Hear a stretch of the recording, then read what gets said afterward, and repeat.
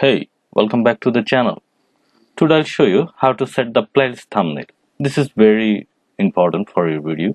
Okay, let's move on. Here you see the in the right side logo. This is my channel. Click one time and go to the YouTube studio. Click one time and wait for coming.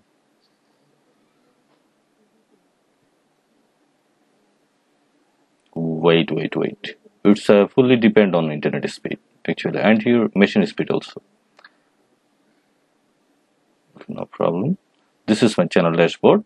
We will go to the playlist. Here you see the playlist. Click one time. Okay. We have to wait. And this is my playlist. We have two playlists. Uh, i okay. Click this one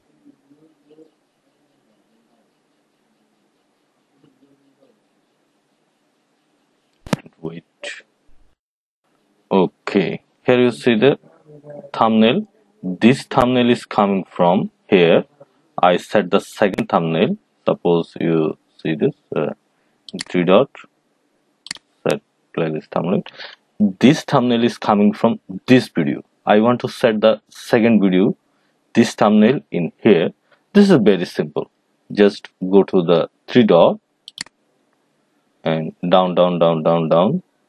Set playlist thumbnail click one time, your thumbnail is set. This is very unique and very simple. Thanks for watching.